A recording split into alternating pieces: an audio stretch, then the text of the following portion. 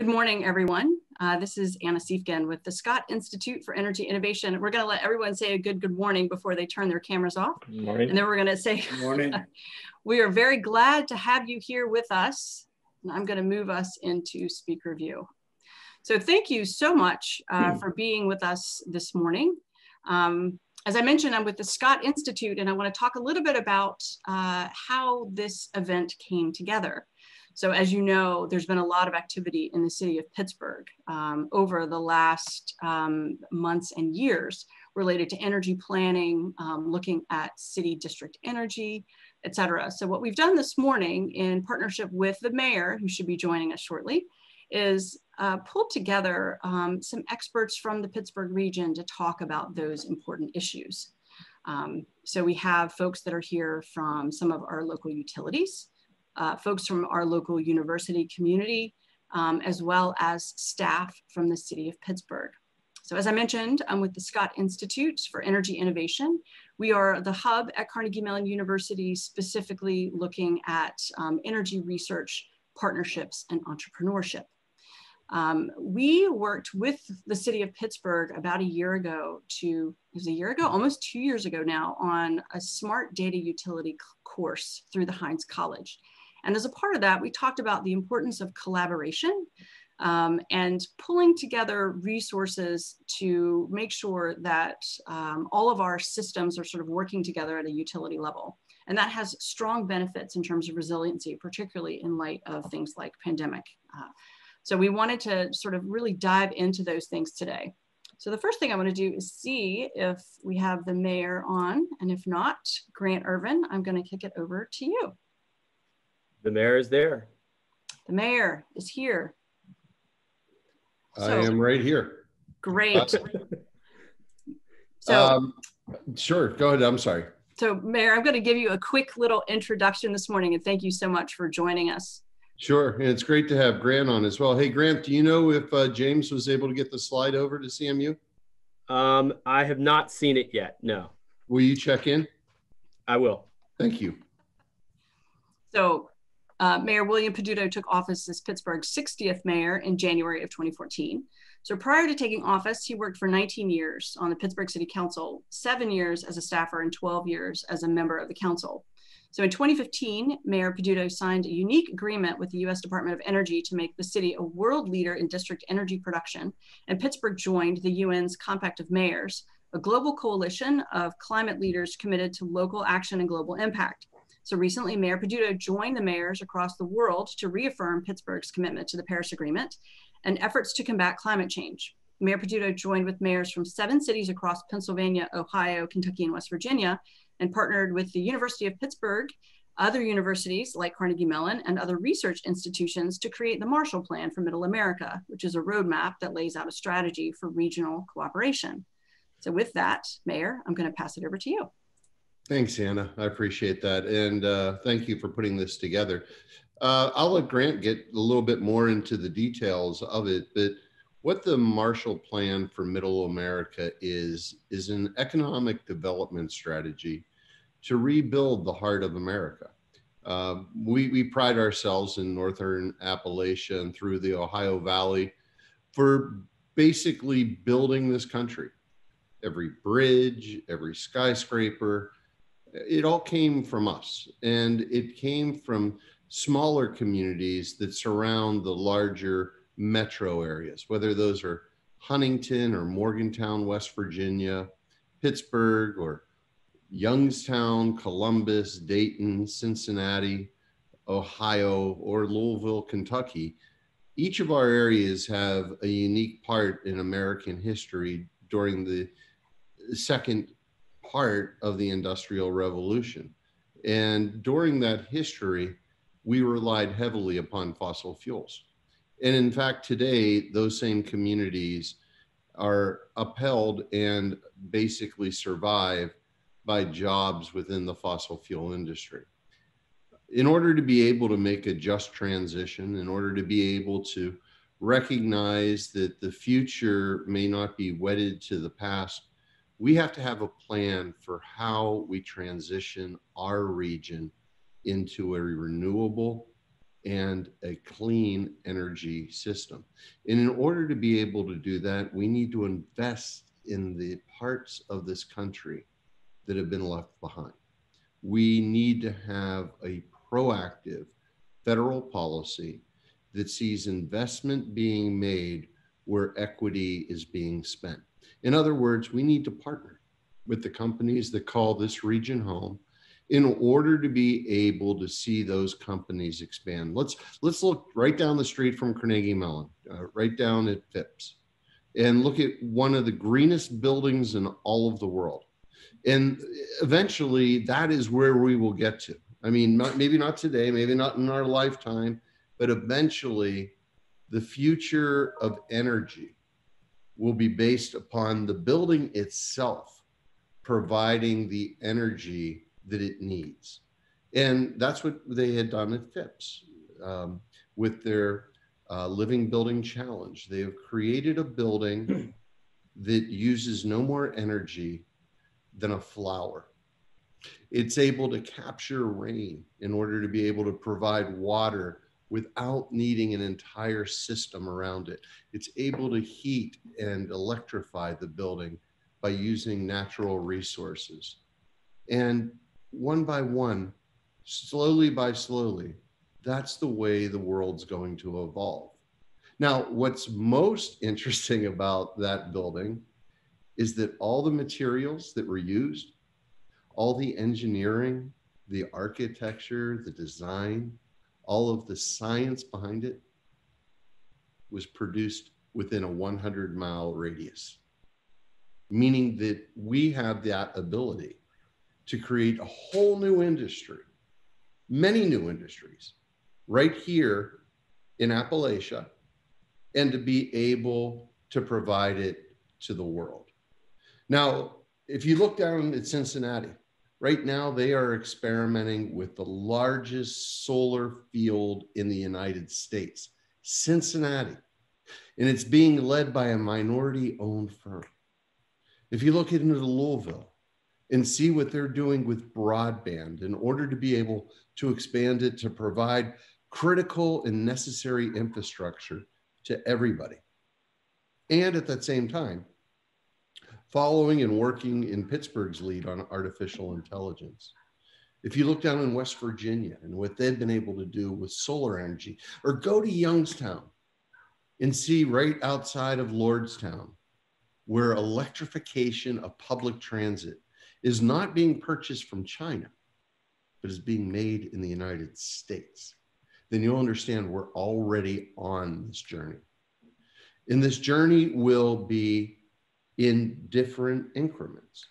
The next increment will be on direct energy and how cities and regions are finding ways to power their neighborhoods and their areas with energy that's produced right here.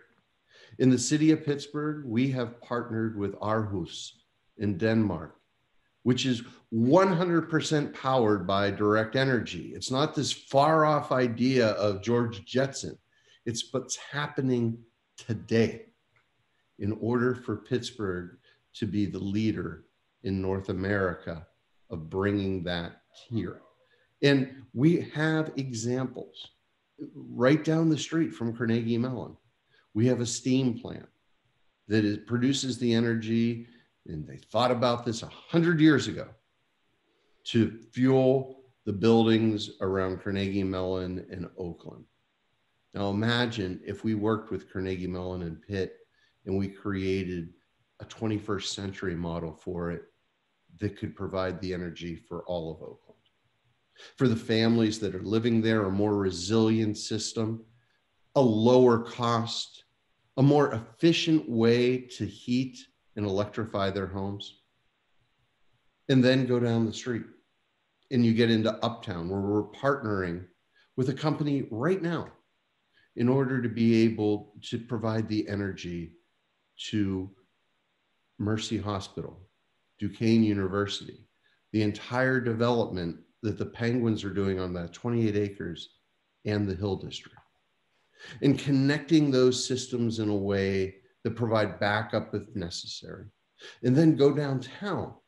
Keep coming down Fifth and Forbes all the way to downtown in the Golden Triangle, where a 100 year old plus system that has not been invested in for decades is falling apart.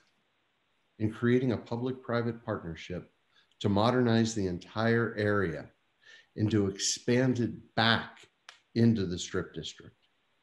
So now you're not only coming down the Monongahela, and by the way, jumping down the hill to Hazelwood, where the foundation community has committed to powering its 178 acres at the site of the last steel mill in Pittsburgh with renewable energy, but connecting that back up into Oakland to the uptown in the hill to downtown and now into the strip.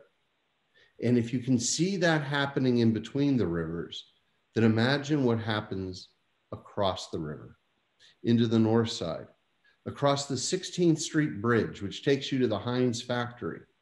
On the other side of that road is a big area, an area of undeveloped potential that will be developed as we see the strip district grow. And imagine creating an energy system that's a direct energy system, not only for that area, but allowing it to extend into Deutschtown, into East Allegheny along the East Ohio Street Boulevard and into Spring Garden. And seeing that area connected to the strip. And then all you have to do is go down the river a little bit more. And right by Allegheny Center, you'll see a center based off of steam that has been co- a cogeneration site with gas that's able to produce both electricity and heat for the area around the stadiums, all the way down into the casino area. And working with a developer now and developing the area all the way past the West End Bridge, an area called Chateau, where a development plan is being built and where it can all be fueled by direct energy. Now, there's a lot of different sources, right? We, we, we, we obviously know about solar. We, we know about the potential of hydro with our, our, our rivers. Uh, there's the potential of wind power, but there's also the potential of hydrogen. And hydrogen will be one of those industries that will start to be built in North America, just as it is being built in Asia and in Europe. And the question is where? which takes us back to the Marshall Plan. By making those strategic investments with federal dollars that match against state tax credits, that match with investments from local governments through use of pension funds and union pension funds, we can partner with the companies that are here today, the companies that have been here for over 100 years, to be the companies that will be here 100 years from now. And we can make sure that those communities that surround our metro areas are getting the support and technical advice from our universities. Marshall University in Huntington, WVU in Morgantown, Carnegie Mellon and Pitt in Pittsburgh, Youngstown State in Youngstown, Ohio State in Columbus, University of Dayton in Dayton, University of Cincinnati in Cincinnati, University of Louisville in Louisville in a strategic partnership between government, academia, and corporations. And to make sure that our neighbors in Connellsville, in Carmichael, in Uniontown, and in Weirton have an opportunity to be a part of the future and not have to fear the future.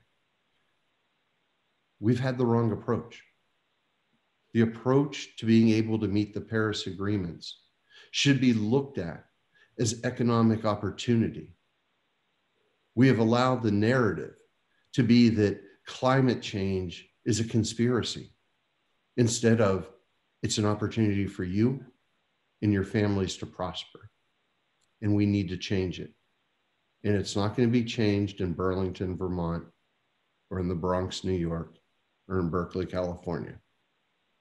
That narrative is going to be changed in middle America, in Pittsburgh, in Louisville, in Huntington, West Virginia. And it's going to be changed around people and how people are at the center of an economic development revolution.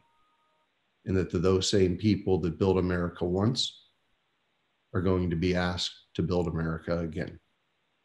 That's the Marshall Plan, a different approach to getting to the same goals of the Paris Agreement by investing in the areas that otherwise would be left behind. A way to be able to talk up to our neighbors instead of talking down. And with that, I will ask if Grant has anything to add more on the operational side, the budget side, uh, or the strategic side of how we get this done. But I'll, I'll leave you with this. The next critical step is getting the support of the universities to speak up about their importance and their role in being able to make this plan successful. Because in the 21st century, the critical infrastructure is academia. The critical component is not how fast and how we can get coal up a river or on a railroad. It's how we can get information to our neighbors and to help to and to help them to be able to build back. Um, with that, I can look at the example that we've created with Carnegie Mellon in 2015, where we created the first MOU between a city and a university in American history. And that led to the creation of the Metro Network of over 20 cities and nearly 30 universities that have all done the same thing. And where we've been able to create not only innovation in our cities through these partnerships, but we've created new businesses within our regions. That example needs to be taken to that next step.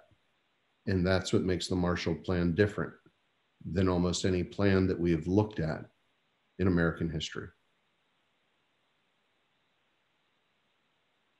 Grant? Thanks, Mayor. I appreciate it. Um, we have uh, also James just sent me uh, your slide. If you wanted to wanted me to share that. Yeah, if you could show folks what that vision is for the city of Pittsburgh and how close we are to being there in the next five years. Five years.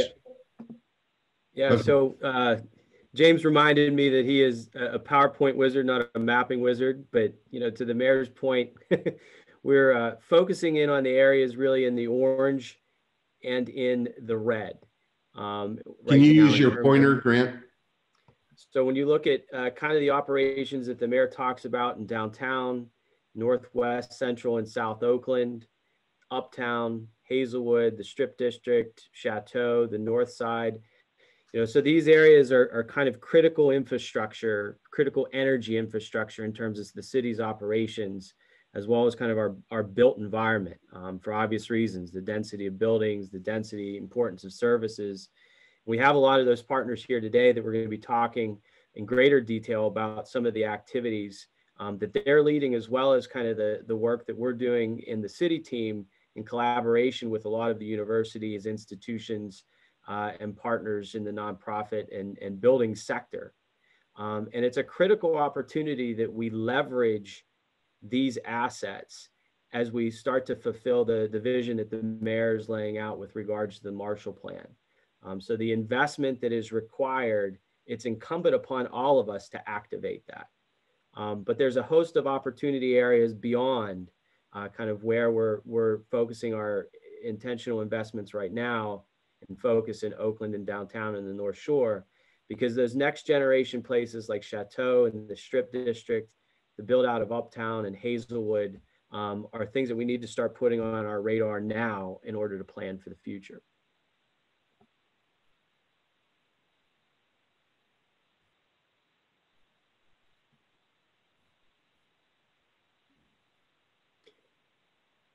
Mayor, do you have uh, other things that, to add here with regards to kind of the, the locations and the opportunities?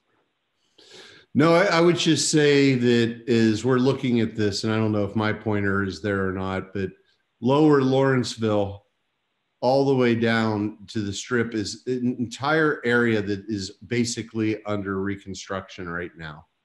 Downtown already has the system in place and we're updating it. Uptown system is being built as we speak. Oakland is the opportunity and the critical linchpin of connecting down to Hazelwood, where we have the commitment from the foundation community to be 100% renewable. As we look at the area of lower Lawrenceville and the Strip District, going directly across the bridge at 16th in this yellow area, that is the area that is under redevelopment going into the north side and beginning up. The area that is red right here is already and presently a cogeneration uh, area and the area being developed along the riverfront at Chateau. When we look at this entire area, and Grant, if you'd like to talk just a little bit about it, we're looking at an area also which uh, the majority of the major buildings are a part of our 2030 plan uh, in being able to reduce the energy in the most dense parts of the city of Pittsburgh. And with the 2030 plan, we are a part of a global network uh, of working with cities around the, the country and around the world. Uh, but more importantly, we lead that global network in energy reduction. And that is through a partnership that we have with a great partner, the Green Building Alliance. That's right. We have the, the largest, um, and Anna, Anna can speak to this intimately, but we have the, the largest 2030 districts in the world. Is that right, Anna? Um, it is. So Green Building Alliance continues to uh, manage the largest by far of all of the districts. I think there are 25 or 26 other cities um, but we still carry about a quarter of all square footage. So Christy Selak is on the phone today from Green Building Alliance um, listening in and she appreciates the, the shout out. Chris, thank you for the great work. And not only that, if you think about that in, as a two-pronged approach, uh, not simply building out the energy system, but creating more efficient buildings at that same time. Meeting the 2030 and the 2050 goals become completely doable. And not only doable but uh, possibly even much sooner than what we think. You know our goal was as a city to be 100% uh, renewable energy fueled for our operation side by 2030 we met that this year. Yeah. And the idea is if we can do it as a city especially a city like Pittsburgh. I mean, we're not Boulder, Colorado, we're Pittsburgh, you know, and if we can set that example, it makes all of these other goals seem so real and possible. We have this wonderful opportunity to be able to be the definition of how we're able to do this. And people will look and go, huh, Pittsburgh? Huh, then why aren't we doing it? More so than cities that are already are running off of hydropower, telling the rest of the country that's what you need to do too. Coal was discovered on our Monongahela River. Oil was discovered up in Venango County. We sit on the Marcellus and the Utica shale reserves, and yet we see a different future. It's not based upon fossil fuel, but willing to work with the companies that built those industries to expand their portfolio so they're still here 100 years from now. Mm-hmm. Mayor, do you have uh, thoughts you might want to share um, just while we have you here about other opportunity areas like uh, um, just from city operations standpoint about like the, the, the VA site or the, the area around the 62nd Street Bridge, um, some of these kind of you know development areas and and you know other things where we might ant- have anticipation in the future for things to chew on for folks to chew on. Nope. I have no idea what you're talking about. No i'm joking. Uh, yeah i mean it, it, those are the easier ones. Those are the ones where we already have control of the land and the site. So is you're going down washington boulevard uh, on the right hand side that whole hillside is basically owned by the URA. And then on top of the hill is a former VA site, which we have been in negotiations with the federal government for four years to purchase. Um, and as we look at the redevelopment of that site uh, for city operations, which was part of the agreement with the federal government, in being able to obtain the land, it's a very easy add on to put a partnership with a private company to be able to provide the energy for the site as we redevelopment. The same thing around 62nd Street and all down the, uh, the Allegheny River uh, in Upper Lawrenceville, uh, where we own that land as well. And it, it also the same thing as we look at the Strip District in going towards Lawrenceville. So much of that is city owned land that we can make the agreements with any new developer as we sell that land to be developed where this needs to be a component of it. So on the city owned land side of it, uh, it's a given. And it's not only that, it's,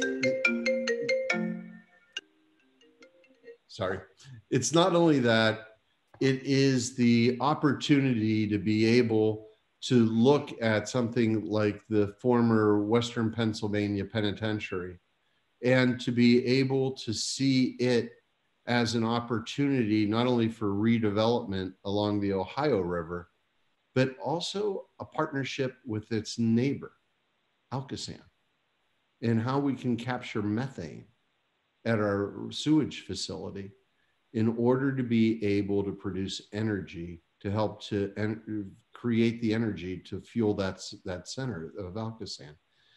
That methane capture can be combined with solid waste through a transfer station, and we could be able to use that to end our landfills and to partner with our neighbors and surrounding communities to do the same. Not only being able to produce energy, but to greatly reduce the cost of solid waste in getting to the point of zero waste. These are the opportunities that are before us right now. But the only way to make them happen is if we have a federal program to help us to get there. And again, that goes back to the Marshall Plan. We can meet our goals of the Paris Agreement. We can surpass our goals.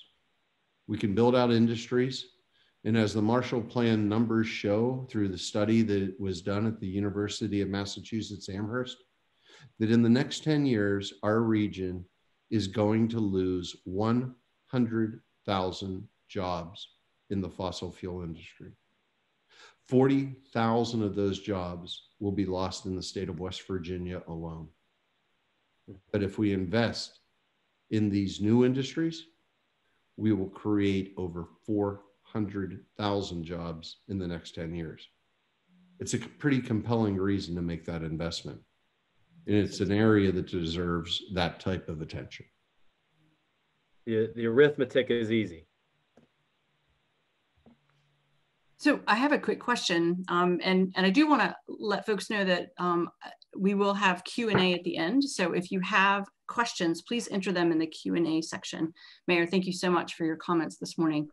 So there's a lot of, with a new administration at the national level, how does the local plan that we're working on, this regional plan, fit in? How will that all come together? What's your well, vision? It, it, requires collaboration. Um, that collaboration, like I said, really needs to be built out at uh, a local level. We view uh, Reimagine Appalachia as our strategic partner. Uh, we support their agenda. We support uh, their policies like recreating the CCC and being able to put people directly into jobs immediately. Uh, we have a workforce that's ready, willing, and able to be able to take care of a lot of the public needs that um, presently are just being ignored and allowing to become much more costly. So, working with Reimagine Appalachia on the grassroots support and combining that with our political support we look to our brothers and sisters in organized labor and we view them as critical partners because when we talk about good jobs and green jobs, they should be the same. This is the region that created the Blue Green Alliance between the Sierra Club and the United Steelworkers and understood issues such as fair trade were issues that we need to get behind. I believe that that same type of an alliance can help to rebuild and to be able to put together a lobbying power in Washington to help us to get that through.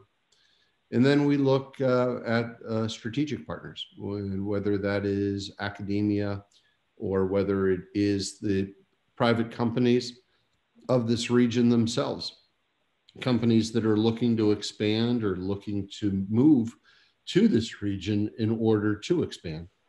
Uh, we want to be able to have them as our partner in being able to make that lobbying effort as well. We've been in touch with the Biden campaign uh, during the election on the Build Back Better uh, plan and spoke with the authors of that plan about how this fits in with what they're doing and want to do. And we've had early conversations with the Biden transition team uh, to really start to put more flesh on the bones of uh, what this study shows. And being able to look at you know this uh, four state area as one. I think the the last thing that we would ever want to do is to try to compete against our brothers and sisters in west virginia or ohio or kentucky.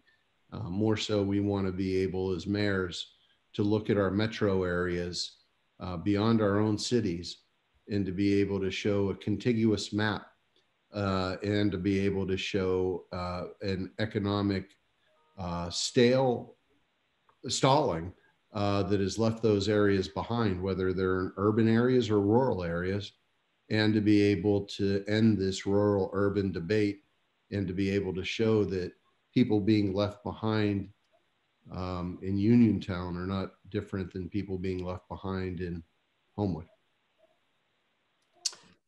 Thank you, Mayor. I certainly appreciate your comments and we are glad to have you here this morning. So Grant, I know that you have some slides that you'd like to share with us as well. Um, and Mayor, I would be remiss if I didn't thank you for your leadership, your ongoing leadership in, the, in these areas. So thank you for that.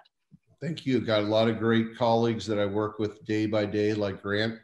And I got a lot of good friends that are mayors of these other cities where we share the stories of not only the uh, economic duress but the proud stories that we like to talk about of the successes that keep shining through.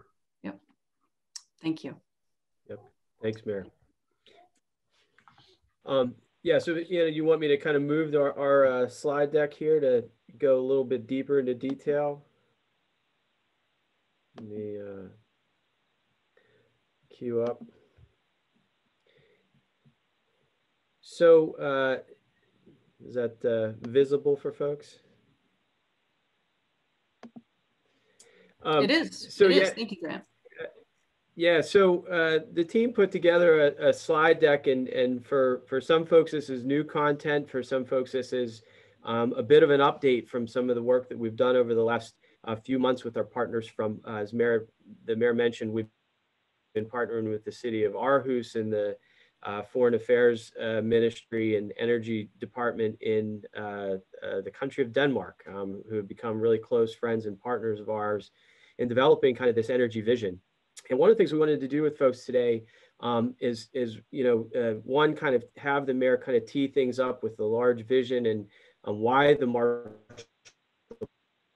Plan is so important and, and start to dig into how cities and how a city like Pittsburgh can, can activate that vision uh, from the ground up and some of the work that we've been um, doing, wanted to share with you all. So I'm gonna go through this relatively briefly. There's a lot of detail underneath of this, um, but we wanted to share some uh, results of work that we've done throughout uh, 2021, which has uh, been uh, really fundamental for the activation of the city's climate action plan, um, our 2030 strategy, as well as a key component of, as the mayor mentioned, the city's economic development strategy. So the idea that energy and economic development and social health and well-being, they're all interconnected. Um, and that's one of the key messages that we wanted to share with folks today. Um, so as part of that, you know, our commitment is really to build an economy through green and clean energy. Um, and that is one of the, the foundations really through the DNA of Pittsburgh. Um, as the mayor mentioned, you know, energy has always been a part of uh, who and what Pittsburgh is, uh, whether it's it's coal in the Monongahela River or oil oil slicks that came down the Allegheny. Um, there were uh, energy at, at, the core component of the work that we all do. And that's going to be true going forward into the future. So as we lead this green energy transition, it's incumbent upon all of us, um, the city, the universities, the institutions, um, the built and uh, leaders in the built environment to make these strategic decisions to make the clean energy transition possible.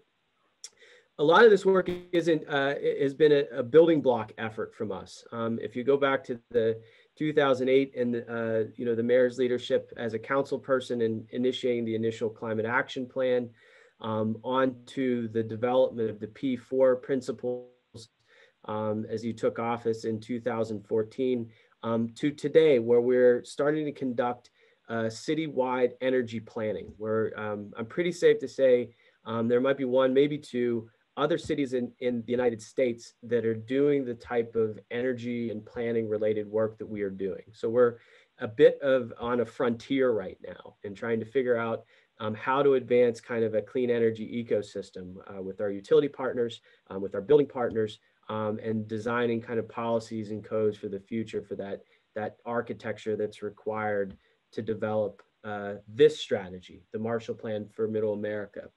Um, you know, one of the things that we noted as we were developing the Marshall Plan uh, concept with our partners at Reimagine Appalachia and the Heartland Institute and the Center for Sustainable Business at the University of Pittsburgh is that in Pittsburgh, we already have this ecosystem, um, kind of a, a, the ability to create uh, a, a, replicable system for other cities to realize this Marshall Plan vision.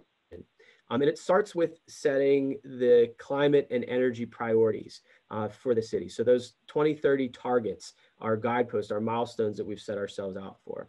It's about integrated project design and delivery. So kind of integrating uh, these collaborative ventures with utilities, with universities to help uh, create the enabling environment for the development of our economy, for the workforce, um, and then leveraging that investment from the federal, state, um, private sector, and the local levels. Um, so we're making these investments, for example, through pension funds, through our procurement decisions, but we need that federal and state investment to be the catalyst.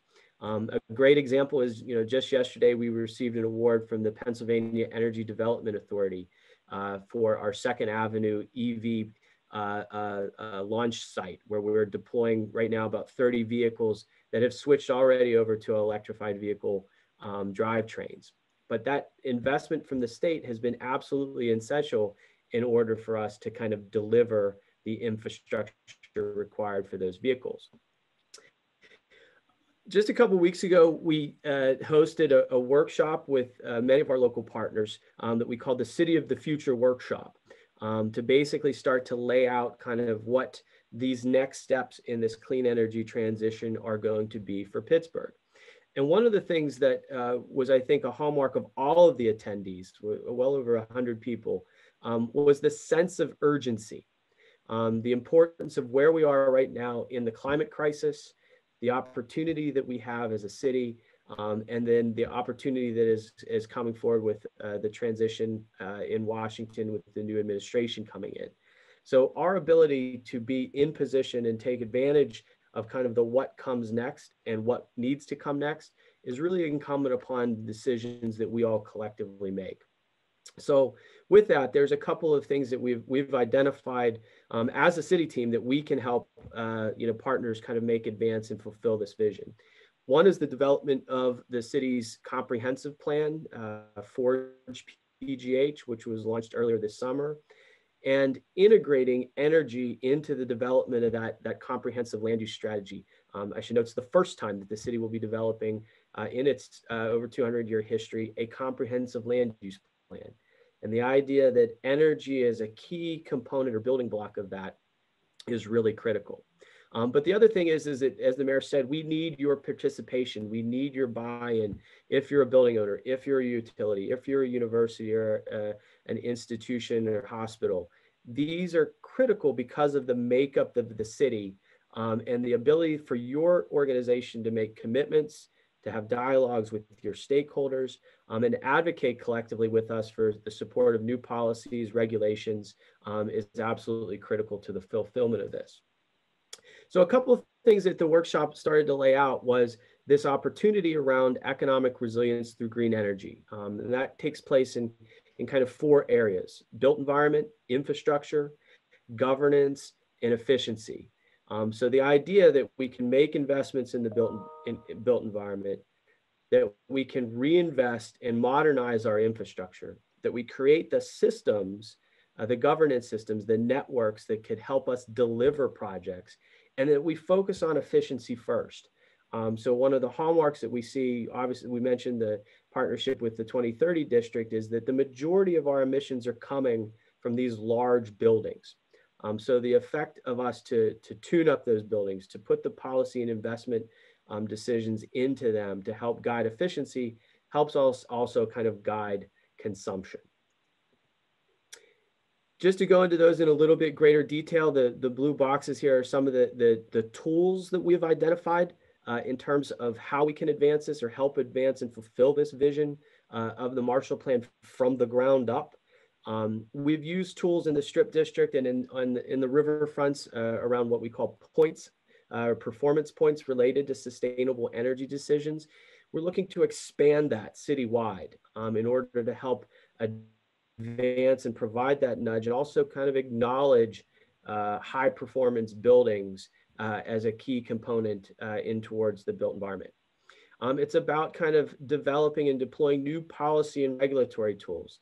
Um, a great example is uh, you're going to hear a little bit later on from uh, some folks on our team about our net zero energy ordinance that we developed for city facilities. And that is leading uh, really kind of a change in the marketplace in terms of the professional uh, focus on net zero and passive house structures, but also building the workforce to help deliver those types of projects.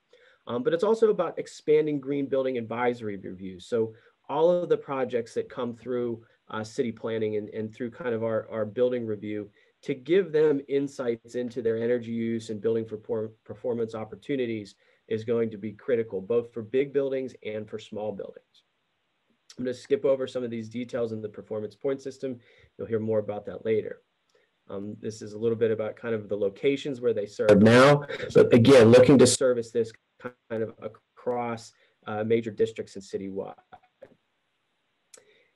Building efficiency has been a, a, a key tool and just a, a, note to kind of our partners at Allegheny County who this, this past week announced um, the release of the CPACE program, the Commercial Property Assessed Clean Energy Financing, um, which is really going to be a critical tool we feel in terms of advancing building performance through financing uh, here in, in Allegheny County in the city of Pittsburgh. Building efficiency and monitoring and, and detailing uh, information has been really critical to our work in the city. Um, this slide shows some of the buildings that are currently uh, uh, in the RFP stages of develop of advancing our net zero energy uh, uh, code.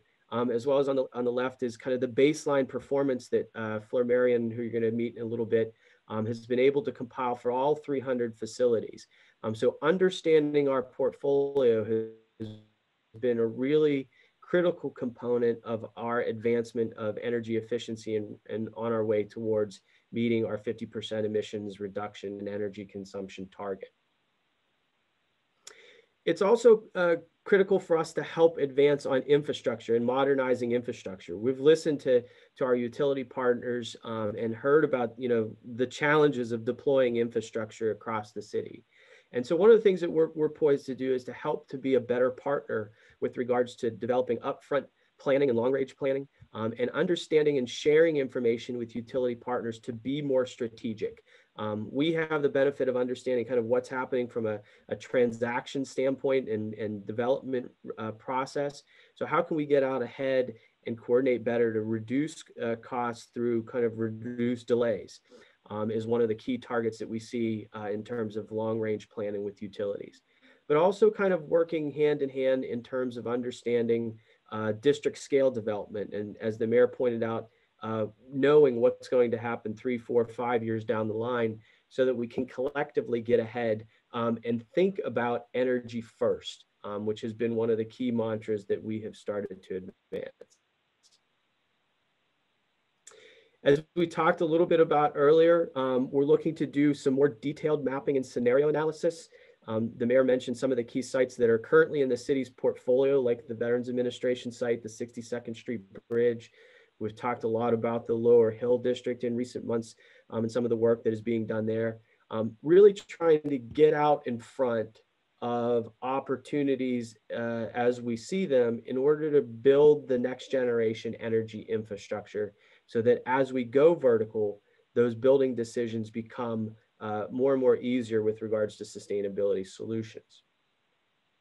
Governance is also a key component of this. Um, one of the key things that we've identified over the, the work that we've done in the last several months has been uh, the opportunity to create energy improvement districts.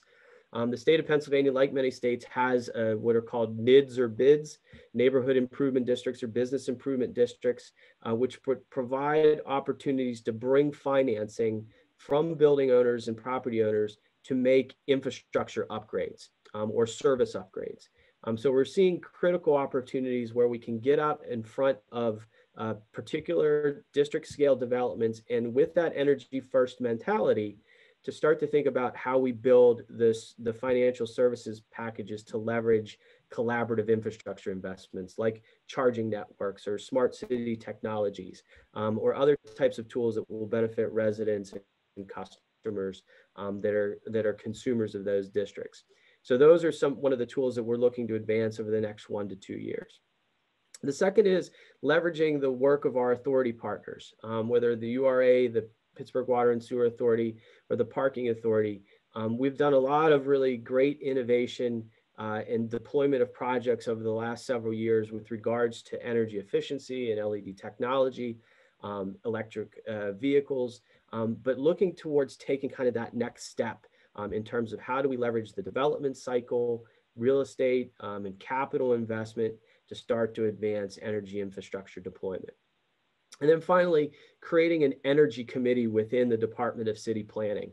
Um, so this opportunity to start to bring in expertise early on um, as we review and guide project decisions um, is one of the ways that we feel that we can help to elevate um, the role of energy uh, and energy decision making through the development cycle. And then uh, the efficient city. This is a, the concepts of really thinking about the city's work and our internal operations. Um, as a, you know, an entity that has 3,000 employees, 300 facilities, and 1,000 fleet vehicles, how do we really integrate energy and sustainability across city operations? Um, we've made great strides in the last uh, several years with regards to increasing the amount of uh, electric vehicles in our fleet as the mayor mentioned, we hit our 100% renewable electricity uh, consumption this year through a, a, new contract that we devised with uh, partners at Direct Energy um, and are looking to take the next steps, which you're going to learn more about in terms of entering into uh, a whole, the wholesale market, which will allow us to advance power purchase agreements while reducing risk, but more importantly, find ways to invest in clean renewable energy in southwestern Pennsylvania. So really looking to help advance that market. One of the other great things about, um, you know, kind of as a result of those standards that we've created and targets in renewable energy, we've also helped to uh, amass savings through our partners in the Western Pennsylvania Energy Consortium. Um, so our, that ability to have an aggregated purchasing power not only helps us to reduce costs, we saved $700,000 for local governments uh, just this past year, but also expand our renewable footprint um, here in the region. And it's also about um, integrating with communities. Um, so a, a, big piece of our work uh, on our team has been around the challenges of fuel poverty or energy burden. Um, so, you know, up ahead, how do we start to find ways to advance energy efficiency in the residential sector um, is going to be one of the critical tools that we have in the future. Just some, some final thoughts. Um, uh, one of the, the mayor had mentioned also kind of the the changes that we've been able to make uh, from the, the Pittsburgh Pension Board and their leadership in developing an ESG policy for our pension. Um, this is kind of, uh, everybody asked me, why is this a big deal? Um, and, you know, effectively what we've been able to do is to divest our pension fund uh, to less than 1% of our fund is being exposed to fossil fuels. And this is transformative because it also allows the opportunity to invest locally in clean energy and community building assets. Um, so the, the focus of the ESG policy is a fundamental shift in our procurement practices.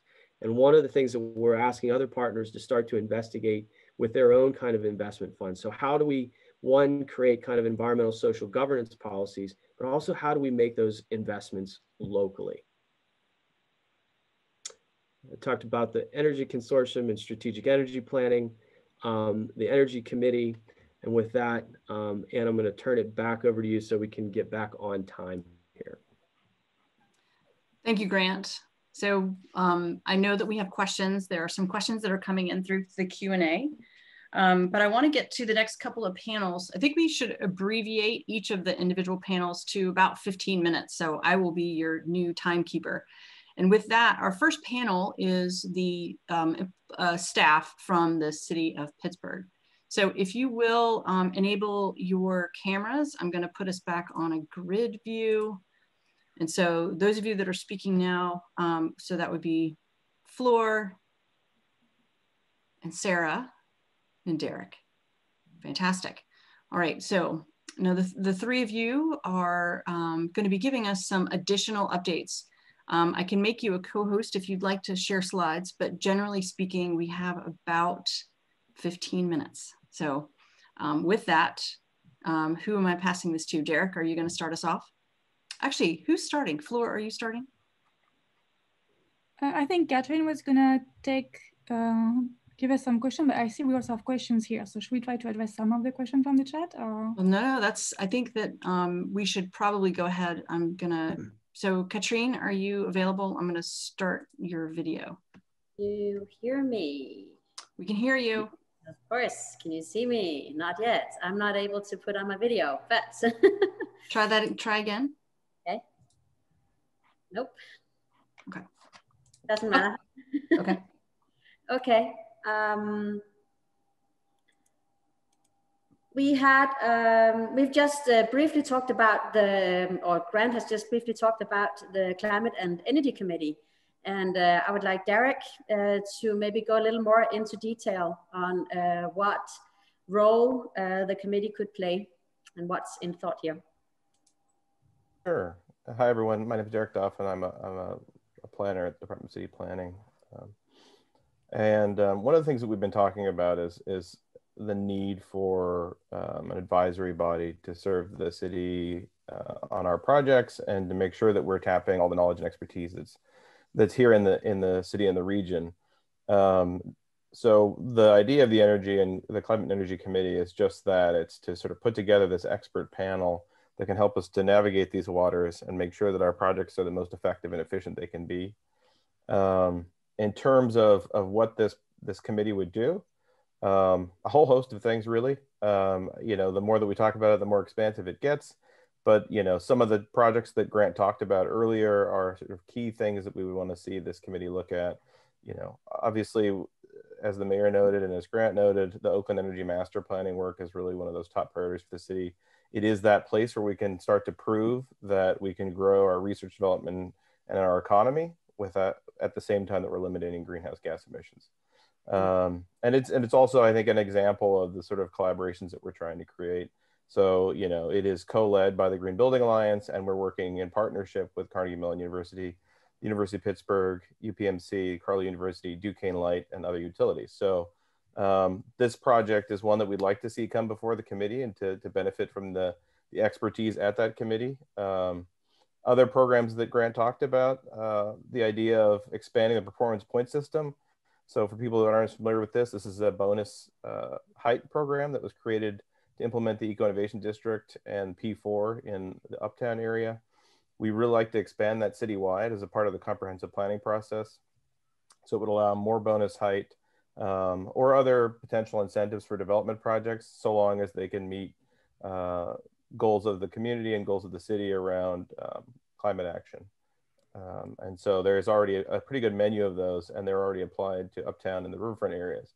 But expanding them citywide is going to take an update to those points into that system and then thinking sort of more holistically about what that means in different parts of the city where we might want to see more height. Um, we've also heard from other cities that it's really important for us to proactively develop guidelines and standards so that those don't become impediments to the rollout of this energy future, whether that's EV charging or district energy facilities And so we really see this committee as really serving as a, a, bridging a gap between a lot of the work that's done on energy and design and um, and development. And so developing standards around those different kinds of um, of infrastructure improvements and making sure that we're ready to go so that that doesn't slow things down. Um, and I think one of the things that that maybe is a little bit different from this is that we are uh, interested in learning about and, and potentially developing some other ways of funding these projects. We've heard a lot from many of you on this call that the upfront capital costs are very high and a major impediment to developing district energy and a whole host of other energy systems. And so one of the things that we're interested in working with this, this uh, expert panel on is what are those different pathways? Uh, you know, Philadelphia has an energy authority. Is that the right approach? Um, we also have the ability to create uh, improvement districts is that the way to do this? So um, I think that would be a major project and really something that the city could benefit from, this energy and climate panel. Mm. Thank you, Derek.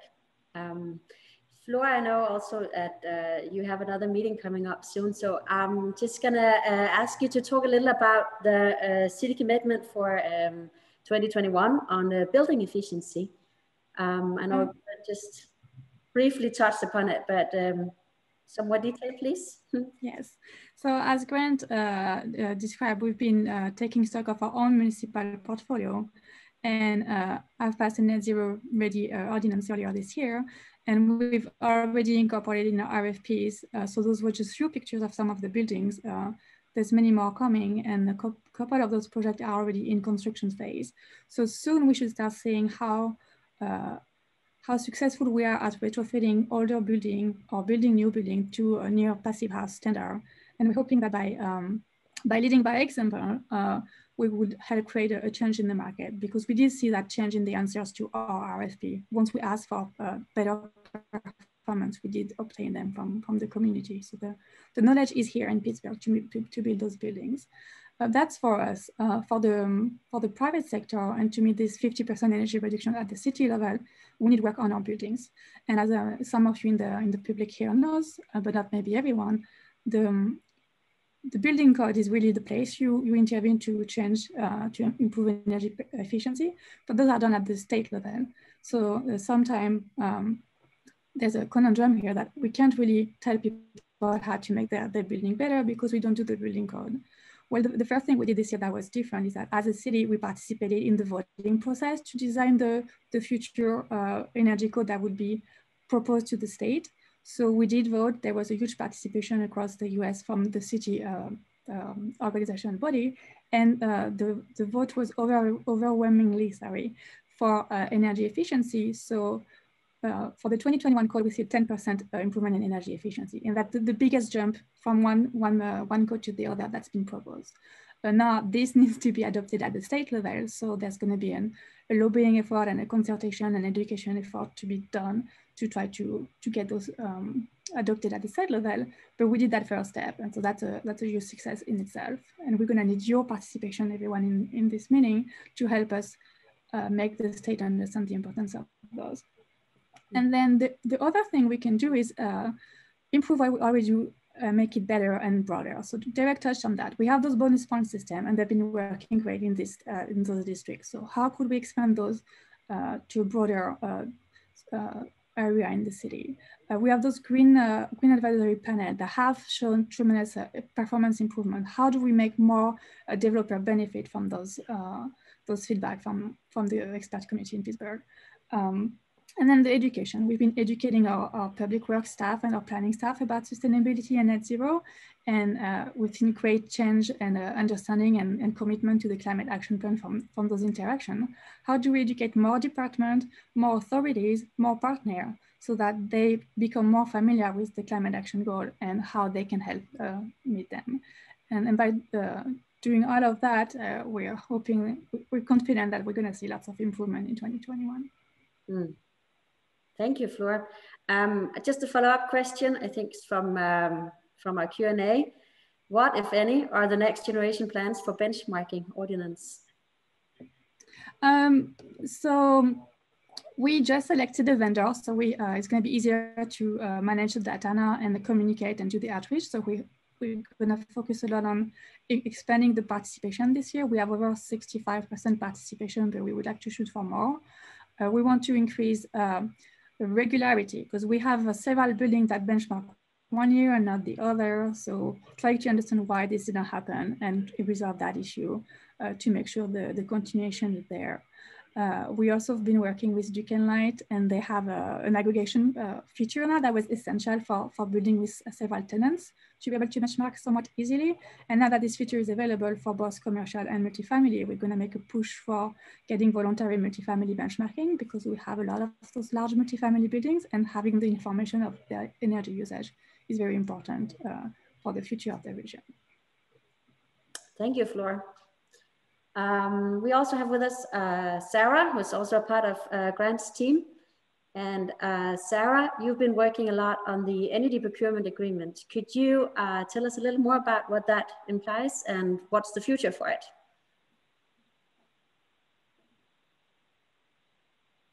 Sure, you Sarah, you are muted, I think. She says she's, there you are. Mm -hmm. Um, I called in on the phones because I think it was acting up on my computer a little bit. But um, I did also see in the chat that there was a question about elaborating on the 100% renewable goal for the city. So hopefully I can kind of um, incorporate that answer here as well. Um, as Kathrine mentioned, I do help to run our energy procurement for the city, which includes um, operating the Western Pennsylvania Energy Consortium. And with that consortium, we procure energy for the city of Pittsburgh, but then we also have about 32 other entities um, in the nonprofit and public space in and around Pittsburgh that are a part of that consortium. And we've been, since about 2008, we've been collectively kind of pooling our electricity usage um, with the hope of reducing cost of electricity. Over the past um, again, about 12 years, we've been really successful in having a lot of budget certainty, um, again, reducing the cost for all of our members. And then in the past, we were slowly increasing our amount of renewable energy credits. Um, the typical contract for the Energy Consortium lasted about three years. And with each kind of new procurement cycle, we were adding in 5% more of renewable energy. Um, however, as we went through the process of developing the climate action plan back in 2018, um, and our most recent contracts for energy procurement kind of um, were set to expire, we really looked at how well we were performing um, in relation to a lot of the strategies in the climate action plan and a lot of the goals the mayor has set forth um, and realized that while we would technically get there by 2030, um, it wasn't really enough um, to have the emissions reductions that we were really targeting. And so over the past about year and a half, we've really reworked the energy consortium. Um, we've moved away from just basing everything on price and have started to um, create a new structure that really enables us um, to procure more renewable electricity. Um, and so this past May, we did sign a one year contract. So for May 2020 to May 2021, um, we ramped up that renewable energy credit purchase to 100%. Um, so currently all city facilities, um, as well as the facilities of another a number of other entities within the city um, are covered with that 100% renewable electricity um, through the purchase of RECs. And so we do use that as kind of, um, it has again, kind of really scaled up the amount of renewable energy we're using, but it's kind of a placeholder, I would say also. So we did accomplished the initial goal, but we've also reworked what that goal looks like in the process. Um, and so while we did have that goal of 100% renewable, we began, began to focus more on local renewable.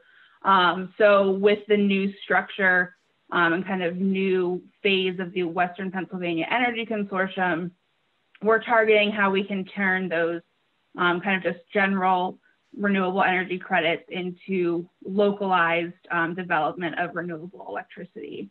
And so moving forward in 2021, we expect to, um, we're actually in the process right now of selecting a new electricity supplier. Um, that RFP is currently kind of on the ground and we'll make, be making a selection in January. Um, and then with that new supplier, we hope to be rele releasing RFPs for power purchase agreements um, and additional renewable resources, again, on a more localized basis. So we're looking at um, prioritizing Allegheny County, but in general, looking for renewable projects within southwestern Pennsylvania that um, can more directly supply electricity to the energy consortium.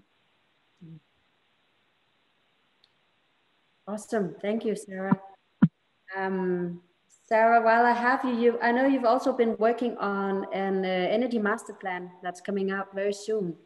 Could you tell us a little more about that too? Yeah, so we do, um, as Grant showed kind of quickly in the beginning of his um, presentation, we have this kind of growing um, chain of plans that we've been working on, and they really help to build upon each other. Um, and one that we're in the final stages of development and kind of the editing phase is the Municipal Energy Master Plan. Um, when we talk about our climate goals and our energy goals, there's that overarching 50% emissions reduction goal. Um, but then underneath that, we kind of break our goals up into two categories, one being um, citywide. So how do we impact energy and transportation on a citywide scale? But then we also look at how do we um, kind of as the city of Pittsburgh operating um, as an entity with 3,000 employees um, and a fleet of vehicles and a fleet of buildings, how do we improve our operations um, and what are the goals that we have kind of internalized? And so with that municipal energy master plan, um, which will hopefully be depending on kind of how things fall around the holidays, will either be um, released later this month or early January. Um, we look at how we can specifically tar have targeted actions within city operations. Um, so building upon things like the um, benchmarking data and the benchmarking reports that Flore has pulled together um, and some of the EV procurement that Grant mentioned. Um, how do we really tie all these different pieces together in a targeted way um, to have that strategy for internal operations and reaching some of those um, city specific, city operations specific goals that are laid out in the climate action plan. Um, so we see this as kind of, again, one more building block upon um, a lot of the goals and other strategies that we've laid out um, targeted specifically to internal operations and emissions related to city operations. Mm. Thank you, Sarah.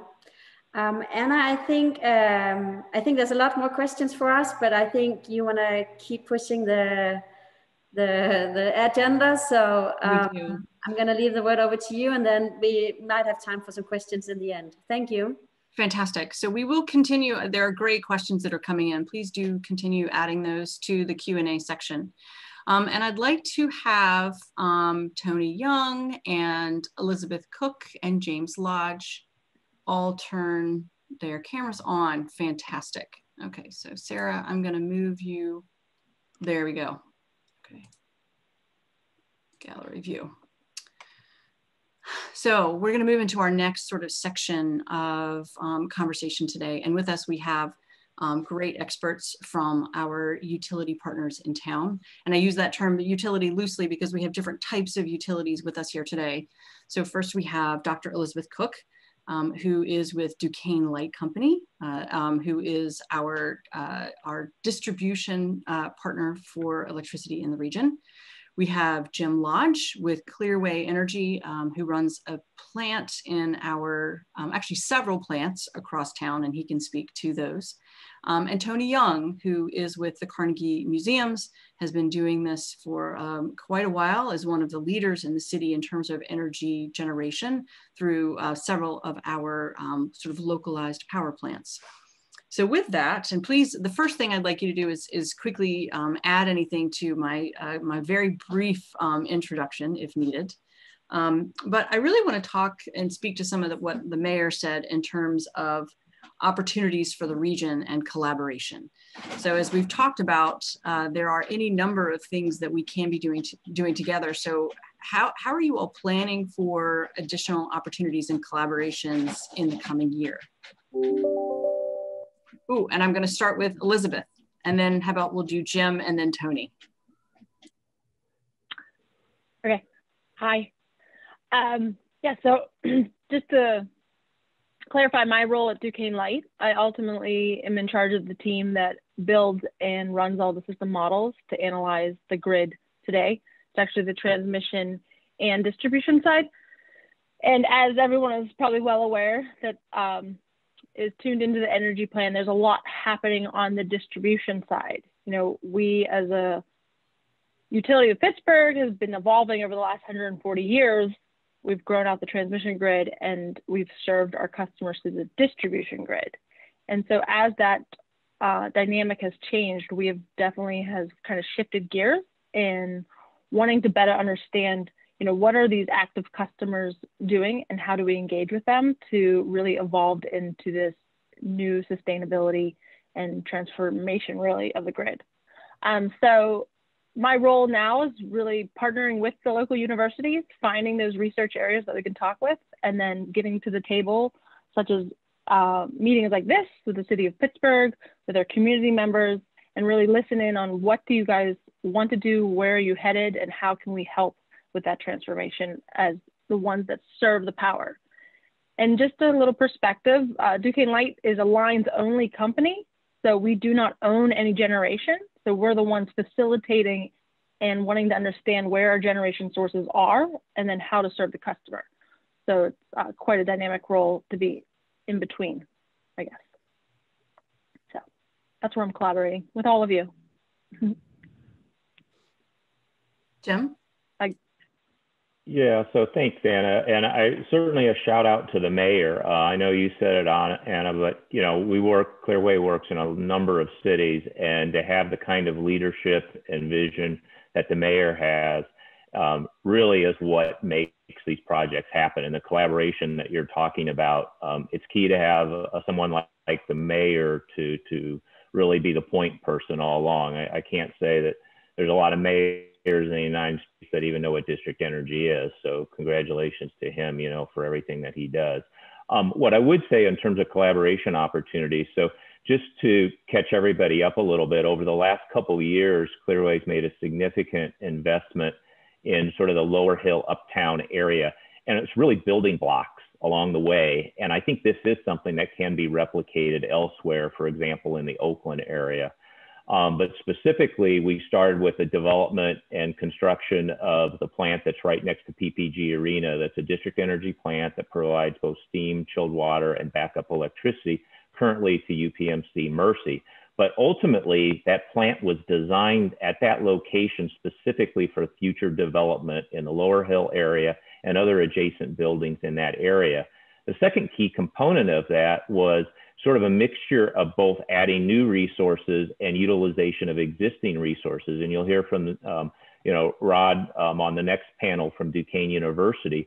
But recently we acquired the, the district energy and CHP system at Duquesne. And that was critical because they had other additional capacity that we could then connect two systems together and in fact, that's what we've been doing this year through the pandemic is actually installing a pipe that connects now the Duquesne University system into the Uptown system, which then frees up additional synergies, uh, you know, additional capacity, improved efficiencies, cost savings, and so forth. And again, this is sort of the foundation for then what the mayor talked about, which was the Lower Hill area.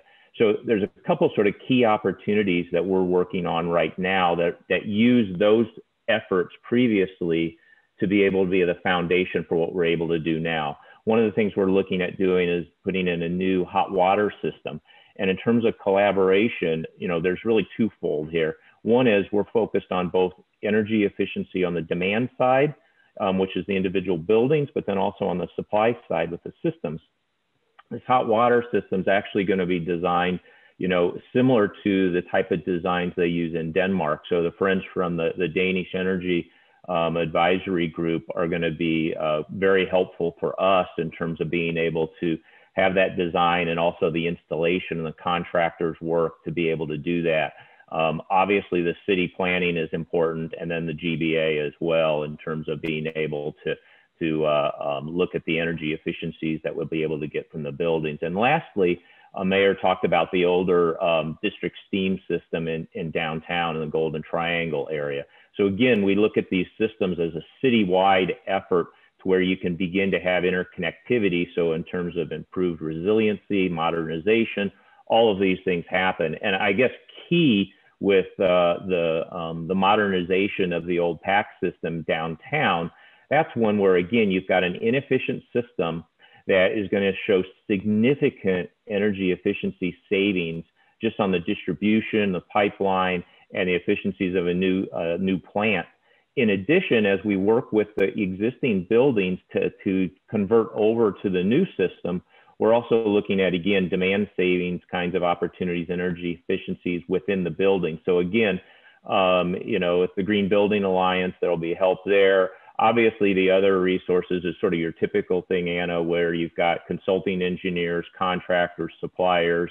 And then finally, um, in terms of beyond just efficiency savings, as we look to reducing carbon emissions, one of the things that we're looking at, and this would be key, I think, for the universities and the research, is biofuels. You know, we're looking at how do we convert some of our existing boilers over to different types of biofuels so that we can reduce emissions. So try to be quick, but there's a lot going on and a lot of different parts and pieces. And this absolutely can be replicated in the Oakland area. So I see this is just a, a preview of what can happen in Oakland as well. Thank you, Jim. Tony? Well, thank you, Anna. And uh, I'd also like to uh, acknowledge uh, two of my partners are going to be speaking on the university side, Steve Gunther from CMU, as well as Scott Bernotis from uh, Pitt. Well, just a couple of things. Um, you know, the pandemic has kind of done a few things for us. It's really um, made the Oakland plant, which is probably, if not the oldest, one of the oldest um, district energy plants in the uh, in the city. It was built in 1907 for the museum to power DC generation and uh, heat. And uh, in the early 30s, it was uh, it was expanded to the Pitt campus and then continued to expand until 2009. And in 2009, the University of Pittsburgh and UPMC brought their Carrillo Street plant online, and we ended up going um, into a centralized system with two separate plants in two different parts of the city, just uh, connected through piping that had been in the ground and then just expanded. So from a pandemic's perspective, we've actually kind of looked at this now and said, okay, this is really where we're where our baseline is at. And uh, one of my colleagues on the phone uh, had just mentioned this in uh, a meeting this morning that we've really been able to look at what we're where we're at baseline. So what does it take without anybody in the buildings to manage the buildings? And then we've been able to kind of grow that uh, that um, whole planning process going forward. So one of the things that we're going to do is we're going to run an exercise in the next month that's going to look at where we're at uh, in each building that's on the system, as well as capabilities of each plant should we have a catastrophic failure or some kind of maintenance um, planning. And that collaboration between CMU, Pitt, the museum systems, Phipps, UPMC, the school district. I mean, you look at all these uh, for-profit, nonprofit folks that are around the system, right? And everybody is uh, doing their part. And the biggest thing we're running into right now, we've not had to expand the plants due to the fact that over the last probably 10 to 12 years, everybody on this system has taken uh, energy savings into consideration. And we've been able to utilize uh, that energy savings to kind of offset the ability to need to expand the plants. So that's the collaboration piece. One of the research things that we're looking at, you know, we're currently looking at um, kind of how we run the plants and how the plant is managed. And as we're looking at now that we look at CHP, is there some kind of new uh, syngas, as uh, Jim kind of talked about, some different firing mechanisms on how we're going to make steam. What do we do in the future with hot water conversion in uh, some of the buildings that don't need direct steam humidification? So if you look at those type of things, I mean, I think the research that's going on on a daily basis and I think the pandemic has really kind of sped this up because it's really um, going to start looking at this whole global warming, and people are really starting to kind of uh, step back and take a look at what's going on with those type of things, so that we can kind of um, see where that uh, research is going to go. And obviously, the Marshall Plan is going to be a big uh, going to be a big component of that. If we look at what do we look at from distribution, and then you know just the challenges is potential utility um, utilities consolidation, um, just the cost of infrastructure. Jim will probably be uh, better to easier to talk to this than uh, I would, but just trying to put infrastructure in the ground. Uh, I'm sure Elizabeth's uh, team, as well as Jim's team, is well aware of just the cost to take and, and move a pipe from, you know, wherever your plant is at, down Fifth Avenue, up Penn Avenue. So I think that's going to be one of the um, potential issues that we're going to have. One of the things that I see is do we use the existing infrastructure and add different technology in those switching stations, whether it be for steam or hot water or electricity, and, and change, use the existing infrastructure and then just change the production of how that utility gets and then basically upgrade the infrastructure as we go forward. I really think that's going to be the biggest challenge. It's just the cost of going into a, a city that its industrial base is 100 years old. And, you know, when you open up a hole in the ground in this city, you never know what you're going to find from, you know, old uh, electricity lines or steam lines or water lines or you name it. So that's pretty much uh, my thought. Thank you, Tony. So Elizabeth, I want to go back to you. There were a number of things that were that our, our, colleagues have mentioned, but I want to give you a chance to actually speak to some of those research ideas, collaboration ideas, and sort of future thinking. Are there other cities or systems that we should be looking at um, in our final minutes before we go to our next panel? Oh, we can't hear you. One thing that um, we just embarked upon was doing a study to better understand the, the, the clean generation source that's running through our wires. And from that study, it was um, not surprising that gas is still, you know, not as clean as the grid. But what we did see is because of our content around the Duquesne Light, such as the nuclear, the increase in solar, and then even the wind per se, our carbon content is actually quite clean. And so what we want to do with that understanding is kind of be proactive with our partnerships in regards to the technology and really how do we look at the demand side of energy, right? Increasing efficiencies where needed. So we don't have to increase or build out our infrastructure, but we can work with the customer's human behavior to really reduce the energy load, um, utilizing demand response programs, energy efficiency programs, thinking about aggregating DER to help benefit and stack rank the goals. So those areas of research are huge right now for us, uh, getting into machine learning and kind of the deluge of all of the data that's available to us, and then how can we understand the utilization of our grid, and then work with the human behaviors to really reduce mm. the infrastructure build out. Um, so in that study, Oakland did pop up as being a very highly um, sourced energy, a lot of energy being used in the Oakland concentrated area. So we're going to be definitely focusing in that um, neighborhood first and then kind of work out to the other ones that were identified. So uh, that's kind of really the research area. Okay. Yeah, the demand side, and then looking at buildings and how can they be more efficient, and we work with the grid, right? Um, I think the other one was, you know, our challenges are similar to yours. You know, anytime we want to build out new infrastructure is quite difficult, right? Opening up the streets, especially in underground facilities. Mm. So that's how we're kind of looking at non-wire alternatives as solutions in our uh, back pocket, uh, which is where the research part comes in. And in regards to COVID, I would say our resiliency planning definitely has stepped up. We're more focused. We are you know, concentrating in the areas of our grid that were, um, you know, being highly utilized, such as the research labs and the, the hospitals, right? Uh, just kind of focusing in on that area, understanding the utilization with a more granular eye per se than maybe before the, the pandemic. But now moving forward, it's we kind of created those processes and we'll continue to implement those throughout.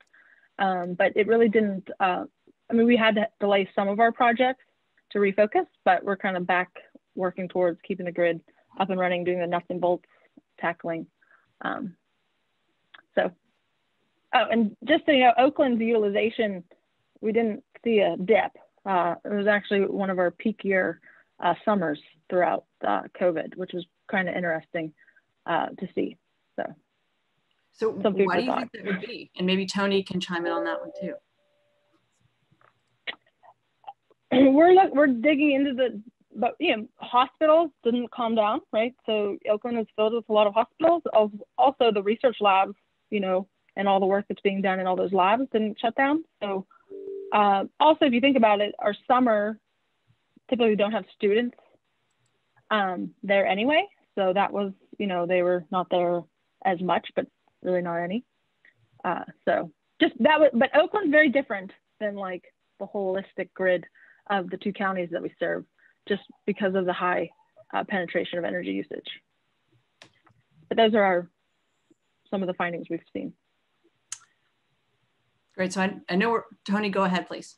Yeah, just just to kind of Anna, just to kind of loop back around. Yeah, the two. I mean, the energy intensity of uh, hospitals as well as research facilities, uh, I think, is really what has kind of led to that not dropping. We've seen in residence halls, obviously, if there's nobody there, we don't see that big spike in the morning. We, we know when the kids are back and when, when the students are back and when they're not back. It's due to the fact that we see that spike starting at about 6.30 to about 8.30, 9 o'clock. We see that big spike. Everybody's getting up, taking a shower, doing all the things that they're getting ready to do their day. And then they kind of, and then it kind of comes back down a little bit afterwards. But uh, I would say that from Elizabeth's perspective, it's because everybody was just kind of full tilt with uh, research and development and what's going on in uh, in UPMC as well as Pitt and CMU's doing a lot of that. Um, you know, some research still uh, through the summer that typically they wouldn't do. Well, thank you. I realize that we're already at the end of time. It seems like we could do a, continue with this conversation. Uh, what I want to do now is I want to have our next panel um, turn their cameras on. So that would be Grant. All right, we're going to have a little switch over here and I'm going to turn my camera off. That's great. Thanks, thanks, Anna, and thanks to that panel. Um, so, so with me here, uh, let me see, let me switch my view. Um, so I, I, have with me uh, our facilities operators uh, from the universities. Um, and I want to thank uh, Rod Dobish and Steve Gunther and Scott Bernotis uh, from Duquesne University, Carnegie Mellon University, and University of Pittsburgh, respectively, uh, joining us here today. Uh, maybe one just to pick up from that last panel, um, you know, and, and really because you guys have oversight of operations of the facilities in each of your campuses. Um, and Rod, maybe I'll start with you, but could you each of you provide your reflection of operations of your campuses during this pandemic? Um, just things that you've experienced or, um, uh, you know, just things that you can kind of glean in, into the uh, uh, experience over the last nine plus months or so? Sure, I'll, I'll start off. Um, I, I will tell you, we are fortunate at our institution that our provost is an epidemiologist by trade. um, he basically um, met with a bunch of us in January, and he was spot on exactly how this was going to progress. So we we actually got a uh, I think a head start on a lot of this, um, and we were fortunate from the standpoint that you know we purchased uh, all the um, uh, protective equipment that we needed uh, because we really wanted to to the extent possible to have our students have the college experience. The, the number one reason that people pick Duquesne is because of our, our campus and our location and proximity to uh, downtown Pittsburgh. And so we, we really focused our efforts on, on that. You know, we had a reduced resident hall capacity. Um, we, we did, we spent, I, I cannot tell you how much money we spent. We put up probably 50,000 signs on campus. Uh, we spent about $50,000 on plexiglass for forward facing activities. Um, we rented a hotel for quarantining students. Um, and we, we really put together a comprehensive plan on all the things. And we, we worked diligently over the summer. And I'm, I'm happy to say through some of the, the random testing that we did, we made it to our goal for this fall uh, is to get through Thanksgiving and we're doing the rest of the semester uh, remotely. Uh, but I mean, it really took people in my world to, we really had to step out of our, our current operations and we really had to take the lead in getting a lot of this stuff done. So I can just tell you that the, the focus of us has been, you know, A, getting the campus ready and two, making sure the building systems were there to uh, prevent the spread of this. Great. Steve and, and then maybe Scott. Thanks, Greg. Great to be here on the panel. And I'm, I'm going to start with just a, a applause to all the essential workers. Uh, from an operations perspective on our campus, uh, we've got staff that continues to report daily to work to make sure that the campus is safe uh, in all aspects. Uh, we've got an ongoing joke in our department going years back that there's some days that plumbers are more important than vice presidents. Uh, and with this pandemic, the role of our custodial services staff from the beginning was elevated very high in the level of importance. Uh, and we salute those folks that are continuing through the holidays to make sure the campus remains safe. Uh, lots of the things that Rod talks about uh, happened here as well. We, we are thankful for the support of the university administration. Uh, in many cases, they had the foresight to uh, invest in ideas that hadn't yet been proven out, but uh, were deemed to be strategies to get us to a place where we could host students in our classrooms, in our residence halls safely uh, throughout the semester. And uh, the experience that we had through the point where we wished them well over the Thanksgiving break as they returned home to virtual instruction, uh, we were by all measures as successful as the other institutions on this panel as maintaining a safe environment for the college age students and look forward to their return in the spring. Great, terrific. Scott? Unmute my microphone there.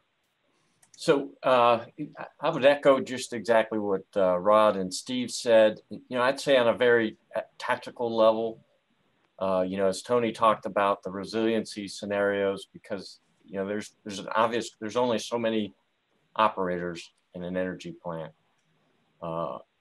We've also seen, you know, we spent the summer in a sprint uh, to go through and modify all our HVAC units to meet the outdoor air requirements. So, you know, on that sense, we've seen an increased uh, increased HVAC consumption due to mm-hmm. lower efficiency. Uh, but we've also seen, you know, less people in their offices turning lights on. So it's kind of a mixed bag there. Um, our research labs, dormitories were still fully functioning. Uh, our research labs in particular, the critical labs kept running from day one in March all the way through. Um, uh, and, and, you know, clearly there are economic impacts from the, um, from the pandemic. We're bullishly, uh, but cautiously optimistic as we move forward with our capital plans. Mm-hmm. Uh, you know, but uh, resiliency and energy to, to steal your line, Grant. We're, you know, we're, we're trying to put that first, uh, energy first, your line. And, and, and the, what we're trying to say is these are the projects that pay back. So we did an energy master plan in 2018. Uh, you could, you know, that could move to the back burner as we, as we trim back our budgets. But we're trying to promote the this is you know these projects will pay back now and in the long term. And so we're trying to those are continuing to move forward. Uh, you know we're looking forward also focusing on our two major uh, ppas for resiliency. And that's kind of what i would say on the energy side. You know maybe just to pick up with that um, because each of you uh, not just you specifically but um, you guys are big parts of these these moves each of the universities have had, uh, you know, a major project or made a major investment um, through the course of the pandemic. Um, uh, you know, and I'm thinking, Scott, you know, specifically with Pitt, uh, you guys have made uh, this major energy purchase uh, with regards to the investment in hydro in the region. So maybe if you could talk about that, and then going backwards, you know, uh, as Steve and, and Rod you know, whether it's the Tepper building or the field house, if you guys can talk a little bit from your perspective of how, how those major projects and decisions have advanced even during the time of the pandemic. But Scott, maybe let's start with you and, and talk about Pitt's purchase of, of renewables. Right. I, I think, as you know, we, Pitt's made a commitment to go carbon neutral in 2037. Um, but, and so it's, it's a little more challenging now because resources are tighter. Um, but, I, you know, I just say, you know, from our, from the very top of our leadership on down through us, it's, you know, these, these are the right moves to make even now. And so we're, we know in everything that we're constructing right now, we've got to put energy first because it's gonna, it's gonna be what carries us down the road. I don't know if that answers your question, Grant. It does. It's perfect. Yeah. Steve, how about from CMU's standpoint? Yeah, yeah I'll add, I'll, I'll even dial the history back further because I think it tees up the conversation and also with Pitt's uh, commitments on board. So uh, CMU, since our baseline in 2005, we've reduced our greenhouse gas footprint by 70%, and that's with increasing space on campus by 20% and student headcount by 25. So it's been a long-term commitment, and, and the university continues want to demonstrate leadership through action. Um, the three ways that we've been able to make that reduction that have made the biggest impacts. First is uh, to a previous panelist, Tony's leadership uh, over the Bellefield boiler plant and the push to uh, take coal out of that plant, uh, not only to reduce the greenhouse gas, but also to improve emissions uh, and health of the air quality in the Oakland region. Tremendous impact. Uh, the second is our commitment to green power. Back in 2001, we made at that point, which was the largest wind power purchase in the US, and that was only 5% of the university's uh, energy consumption. Looking at uh, where we've come to since then, uh, 10 years later, we made a commitment to 100% green energy, primarily through a REC strategy. And then three years ago, we made a commitment to buying 100% physical renewable power with RECs as well. Uh, just two weeks ago, looking at what the markets have done, came down to a strike price where we extended that commitment to buying physical renewable power an additional two years out through 2026. So we we we enjoy the benefits of being able to make a commitment to physical renewable power here in the PJM grid. And then finally, commitment on buildings. Uh, as we continue to look at the users and how do we primarily first priority is to have a resilient and reliable energy source so that we can continue to meet the needs of a vibrant campus.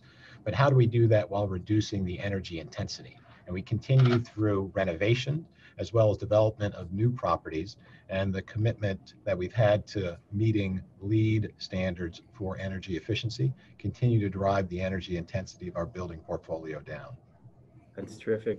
And, and Rod, yourself, uh, I mean, you guys made the, the the new transaction with with Clearways, but also the the development of the the Cooper Fieldhouse during the pandemic. Correct. Yeah, it. I mean, it, it continued. It, it fell behind a couple months when everything got shut down, but it's it's progressing pretty well. Hopefully, we'll have a February opening date. Um, but one of the things I just want to follow up on what Jim uh, Lodge said, we we actually are just at the point where we're completing the interconnection of those plants and it's something that you know our focus has uh, been lately is to get out of the the energy management business and we partnered with clearway so they can operate it so we can actually focus on the building side of things and the demand side of the, of the house our next development that we're doing is um, you probably saw the announcement is our college of osteopathic medicine which is at, mm-hmm. right across the street from um, the Cooper Field House. And um, I'm happy to report we're, we're, we're, close to getting a deal to, to connect that to the district energy. Uh, that plays in part with the Eco Innovation District and some of the goals that the city has. But our projects are, are continuing um, and uh, it's been, been a challenge to, to work through this, but we, we were very successful. That's awesome. Um, just just one quick final question for all of you. Um, and I'll go back in, in reverse order here and hit you, uh, Rod, first, um, just because I like to pick on you. oh um, yeah, same here, Grant. um, what what do you guys see up ahead in 2021? Um, uh, you know, in terms of uh, energy and kind of things that are on your your whiteboard um, as, as university facility leaders. Uh, from our standpoint is to look on the demand side to, to, to really try to reduce, um, you know, costs where we're at because, you know, all the schools know this. We're we're in probably the most competitive time in higher ed with uh, with the um, declining birth rate, and you know there's going to be a cliff in 2026 when the graduates really drop off from high school. But anything that we can do to, to, to help our institution, um, you know, sustain itself. Um, you know, I, I think one of the challenges some higher ed things are going to face, and it's been, been talked about for years. Some of these smaller schools just may not make it. Um, so it, there, there's some significant challenges that we have going forward, but uh, anything we can do to make our institutions uh, stronger, uh, that's what our focus is. That's terrific. Great. Steve, um, and I, and as part of that question, I would be remiss to also have you maybe explain your background and your pin. Um, I think it beneficial for the audience here. Yeah, would love to. I'll start with that. So uh, the background is our color wheel. That's the represents the sustainable development goals that were uh, uh, outlined by the United Nations, better known as the global goals. So our uh, provost, a little over a year ago, uh, in conjunction with the UN Climate Summit in New York, made a commitment with other Pittsburgh leaders. He was joined there on the stage with the leadership from Pitt, uh, from Chatham, from the Pittsburgh Foundation, and our mayor, who kicked off this event, was there as well to demonstrate leadership in Pittsburgh related to the global goals. Uh, we recently published our voluntary university review, and we're very happy recently to see the Pittsburgh publishing their voluntary local review. So congratulations to the city. Uh, we continue to use the global goals, global goals as our framework uh, to align universities' actions in education, research, and practice to help build a more sustainable future. And so we've really enjoyed over the last year engaging the campus community. Uh, turning and pivoting to 2021, uh, what we look uh, forward to, and I'll uh, bring it back to the topic on, on this panel, is we'll complete an 18-month planning effort on a utility, uh, campus utility planning. Uh, done in conjunction with, we've just recently launched our institutional master planning effort. And so we thought that the timing of a utility plan overlapping with the beginning of a utility plan uh, made a lot of sense to make sure that we didn't have pathways for utilities competing with pathways for building development.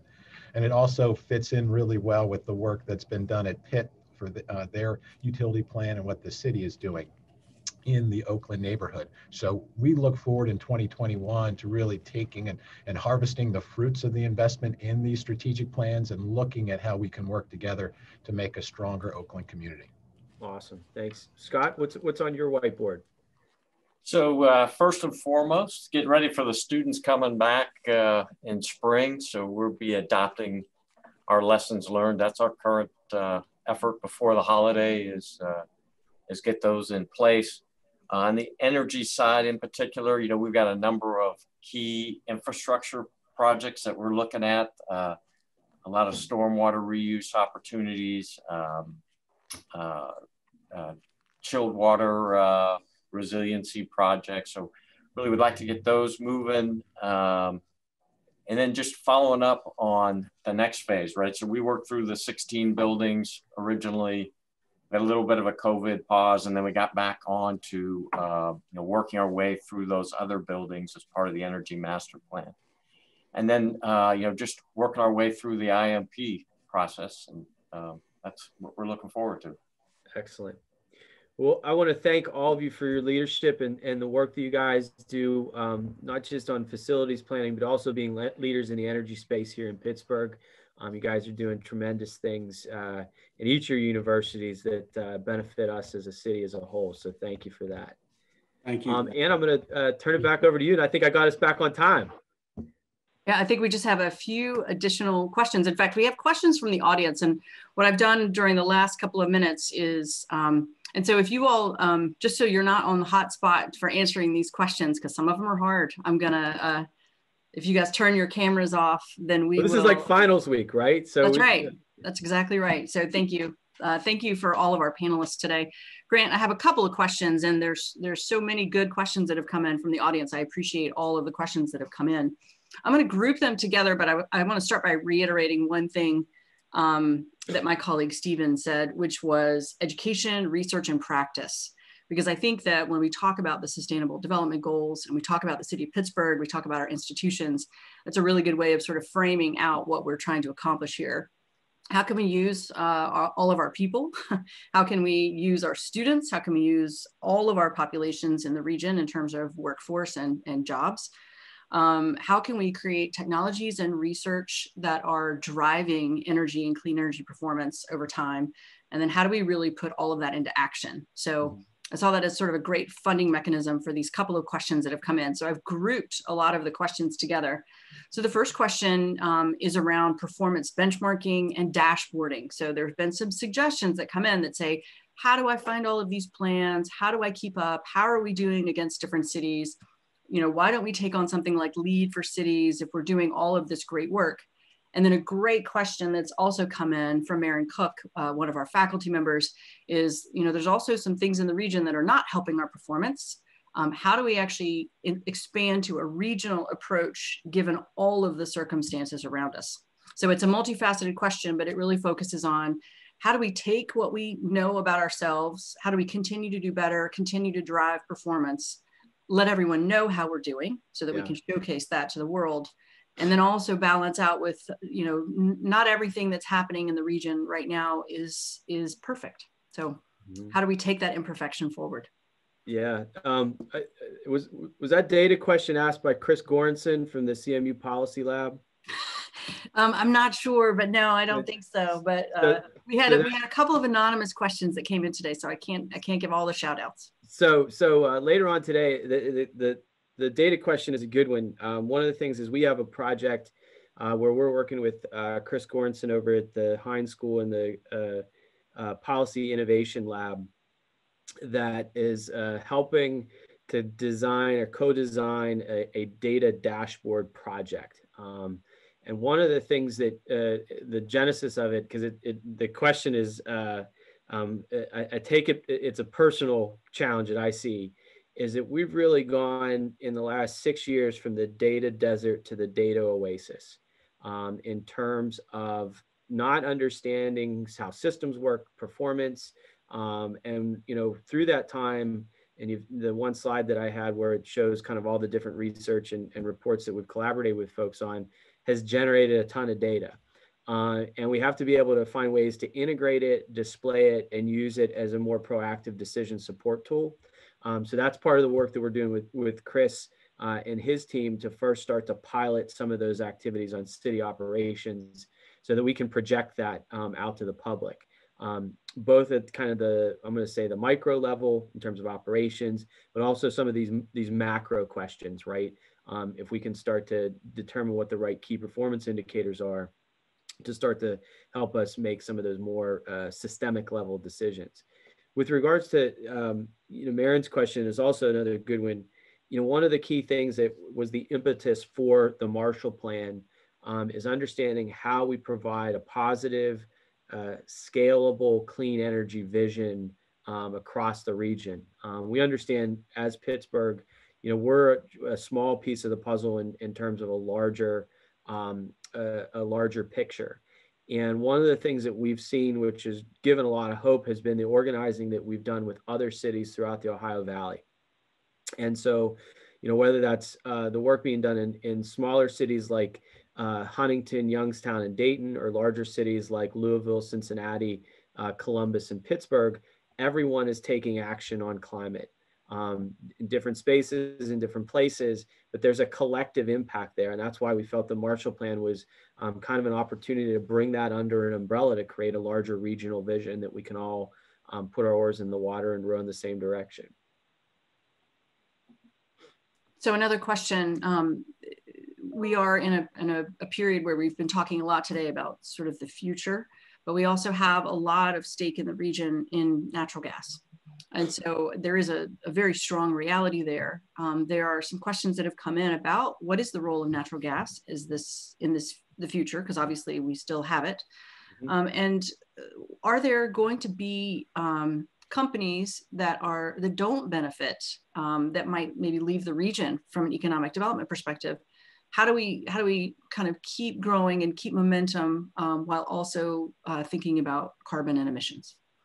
Yeah, it's it's a good question, and it, you know, one of the things that uh, has been really, I think, imperative, and I'm going to take the the last part of that question first, which is in the work that we've done with uh, uh, Bob Pollin at UMass Amherst and the team at the Center for Sustainable Business at Pitt is the question of us doing nothing is a bigger detriment. Um, and so, you know, when the mayor talked about uh, just going forward with the status quo, we stand to lose 100,000 jobs across the region, um, 40,000 of those jobs throughout the, the communities of West Virginia alone.